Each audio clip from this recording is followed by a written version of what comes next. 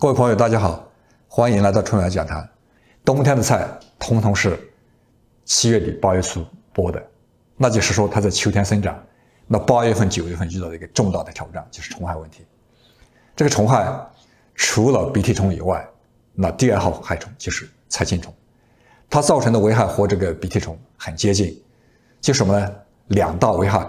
第一个，可以在八月份菜苗出来以后，在两天之内让这个小菜苗彻底消失，造成缺苗。第二个，即便菜苗长到这个九月底、十月初，也会可可能被它咬得千疮百孔。那怎么辨别到底是鼻涕虫或是菜青虫呢？我们原来说了，鼻涕虫的话，它会在这个呃菜上或者地面上留下这个线状的发白的。这个痕迹，你白天去考看是看不到的。那鼻涕虫呢，会在这个它被咬被它咬的这个菜叶子上留下暗绿色的颗粒状的这个东西，这就是虫的粪便。那虫子白天能不能找到？鼻涕虫很难找到，菜青虫是一定能找到的，只是说一定要小心。为什么要小心呢？它呢，它是的颜色和菜的颜色是几乎是一模一样的。那菜青虫是什么呢？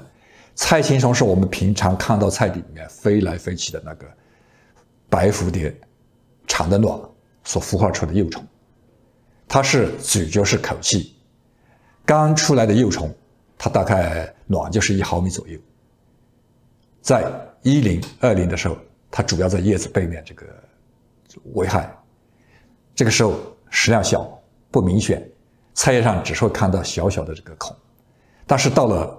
三零以后，四零五零，它食望食量很大，会在一夜之间造成非常明显的破坏。到这个时候，人们发现它的危害的时候，实际上已经晚了。那怎么去预防它呢？那我们就说要针对它的这些特点来进行预防。菜粉蝶最大的特点就三个：第一个，发现危害的时候已经晚了，从一毫米大小。长到差不多有三到四厘米那么长，这个时候，等你看到危害，实际上它虫口已经很多了。这是这是第一个特点。第二个特特点就是它繁殖力特别强。它繁殖力多强呢？菜粉蝶一年它繁殖四到九代，也就是说，在气候冷凉的地方，像加拿大，它一年大概繁殖四代左右；在温暖的地方，它就可以繁殖九代。那产卵怎么样呢？一只菜粉蝶产卵，最少的可以产二十粒，最多的可以产五百粒，这样算下来就不得了。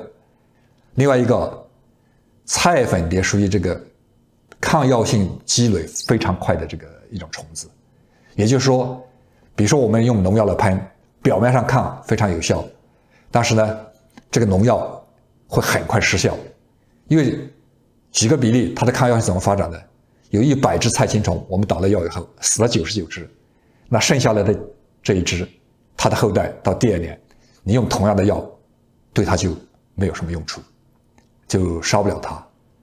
菜青虫危害的蔬菜什么呢？它主要是以十字花科蔬菜为主，它特别喜欢甘蓝和芥菜类，也会偶尔危害这个胡萝卜和南瓜的嫩叶。所以我们在预防当中要重点观察。这个甘蓝类、芥菜类，它发生的时间呢，就是全年都可以发生。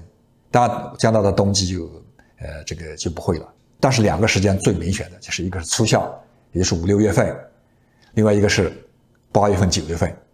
其中以九月份特别严重，有的时候会造成回产，让你整个小苗缺了。那菜青虫这么厉害，有哪些防治方法？那说起来，防治方法无非是农业防治，那就是说。要合理布局，呃，这个不要轮，呃，不要连作，要以这个缺子、辣椒、西红柿这些他不喜欢的作物间种。第二个物理防治，物理防治，呃，无非是黑光灯捕杀这个成虫，或者说播种后盖防虫网。那第三一个生物防治，生物防治的话，呃，放这种寄生蜂，或者是喷这个孙菌、杆菌、呃青虫菌等等。但生物防治的话，措施。在我们庭院种植当中不可行，实施不了。那第四个化化学防治，在美国和这个中国是有有效的农药的，但是在加拿大你买不到，也不能用。原因什么呢？它的抗虫性积累非常严重，这个你当代用了以后，下一代就不一定管用。何况我们在加拿大还买不到，所以我不太主张用这个方法。如果大家去网上查这些资料，会有很多自媒体做这个，呃，放大招，所谓用草木灰让这个菜青虫去绝迹，能不能做到？不能做到。为什么？刚才我们说了，菜青虫它的最早的一零、二零、三零虫是在叶子的背面，这个你撒草木灰，草木灰很难撒到叶子的背面，这是第一。第二一个，下雨或者浇水，你撒上的灰又被冲走了，但是它虫卵和小虫是在叶子的背面，你不可能是每天都去撒，或者说是呃这个呃往背面去撒。第二个就是以虫治虫，那就什么呢？把这个足到的菜青虫捣碎堆成水，再喷上去，让这个菜青虫吸避。这个的话不太现实，为什么？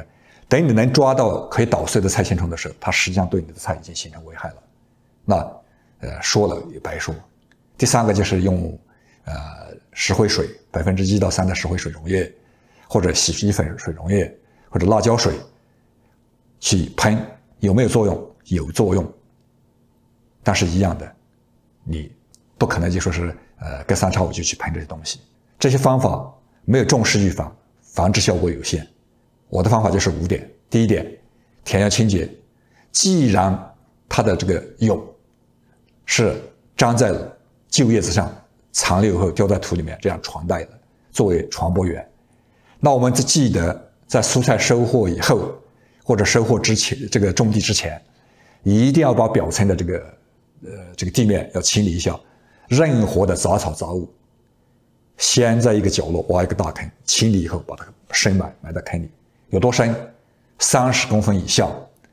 如果这个时候有任何的这个它的蛹残留在这个叶子上，那埋下去以后它出不来的，就消灭了这个传染源。所以这个呃，这工作其实很重要的。第二个，把西红柿，把这些茄科。西红柿、辣椒、茄子这些茄科的蔬菜，和十字花科的蔬菜，白菜啊、芥菜啊、甘蓝啊，间隔着种，就是不要说你你这个这个全部十字花科菜连在一块，你分开种，就说，呃，这个一块白菜，一块这个西红柿，一块茄子，这样岔开种，这样的话可以起到这个对菜粉粒的一种去这阻隔作用，能显著减少这个菜粉蝶的这个感染。第三一个。育苗的时候，最好是采取这个花盆育苗。为什么花盆育苗？花盆育苗面积小，我们好控制，用小小一张防虫网盖上去，就可以避免这个菜粉蝶把卵产到这个菜苗上。那第四一点就是什么？我们摘下去十字花科蔬菜以后，一定记得把防虫网及时的盖上去，而且一定要盖严。因为今天这个我推荐这个方法以后，不少朋友都跟着做。但是呢，依然有有人这个菜青虫还是发生了，怎么发生的呢？我自己我发也也发觉，就是在一个角落盖防虫网的时候，那个角落刚好被这个没压严，被风吹起来，果然一个星期以后，那菜叶缺了一招有有这个菜青虫。所以在我们盖防虫网的时候，关键是要盖严。还有一点，我曾经看到这个 YouTube 视频上有人说。这个用这个 bed netting 可以防这个菜粉蝶，其实这是不对的，因为这个 bed netting 的眼很大，这个孔差不多就是方方一厘米左右，它防不了菜粉蝶的。另外就是最后一点就是，到了八月份，八月底九月初，特别九月初的时候，要每天都观察一下这个菜苗，首先观察甘蓝类、芥菜类，看有没有叶子缺损，如果有叶子缺损，特别上边带的这个。呃，暗绿色的这个虫屎的时候，及时去找，不难找。比如说是鼻涕虫危害，它上边没有虫屎，你网上去找，那如果如果是鼻涕虫，一找一个准。如果是菜青虫，它上边有虫屎，你网上找不到，白天仔细看，它一定是在那个有虫屎的地方，叶子缺的地方，不超出五厘米远，通常是在叶脉中间这样斜着，呃，一抓到一条。往往可以抓到七八条、十条，就照那方法所以我把这个菜青虫就控制下来了，呃，才有今天的这个满满的收获，没有虫害。我希望大家也可以做到这一点，以后做到冬天依然有自己种的菜吃。谢谢大家的观看，祝大家种植愉快，身体健康。